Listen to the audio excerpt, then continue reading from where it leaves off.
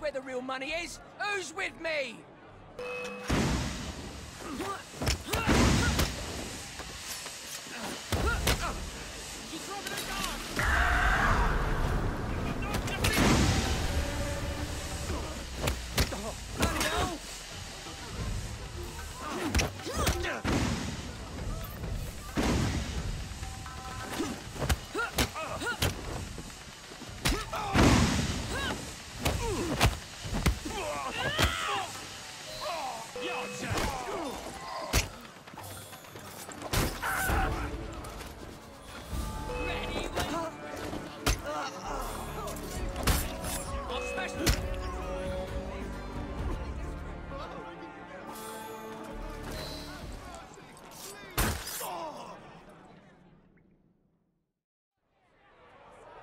Thank you for taking another dangerous criminal off the streets, Miss Frye.